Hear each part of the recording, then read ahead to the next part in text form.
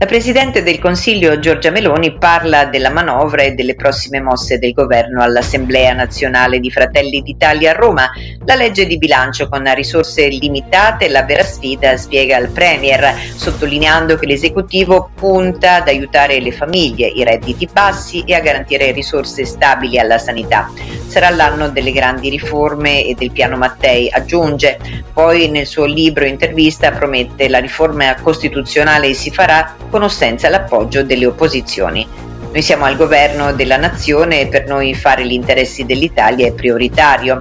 Sono certa che i nostri alleati di governo siano consapevoli del fatto che il peso che tutti insieme abbiamo sulle spalle è talmente grave da non consentirci di sprecare energie. Tutto quello che abbiamo da dare lo dobbiamo dare agli italiani. In merito alla tassazione degli extra profitti delle banche ha dichiarato hanno avuto da ridire persino su questo, sapete perché? Perché loro non hanno avuto il nostro stesso coraggio. Difendo e difenderò quel provvedimento che non ha un intento punitivo. È una norma che vi invito a difendere nelle finalità del corso della conversione sul decreto legge.